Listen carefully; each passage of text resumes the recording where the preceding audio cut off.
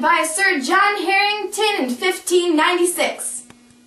The flush toilet was first created to help improve poor sanitary conditions. Today, the toilet is used to dispose of human waste in a more efficient and healthier way. Are you tired of using the bathroom in a cold, hard pan?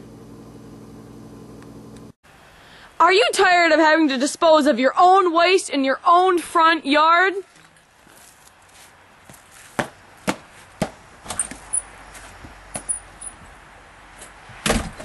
Now with the invention of the flush toilet, with a simple pull of this knob, some of the water is used to carry away the waste, while the water left in the bowl is used to take away the stench of human waste.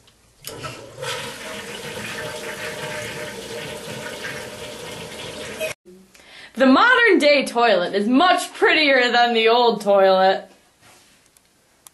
Ah. Look at that The toilet in the olden days was kind of ugly. Ugh, what is that hideous thing?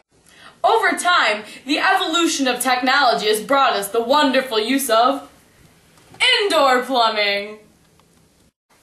The toilet was not used to wash your clothes. The toilet was not used to wash your dishes. The toilet was not used to cool your food. The true purpose of the toilet was to be able to use the restroom in a nice, comfortable environment.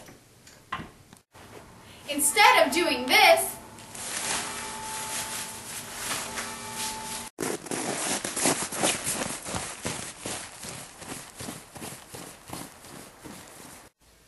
now we can do this.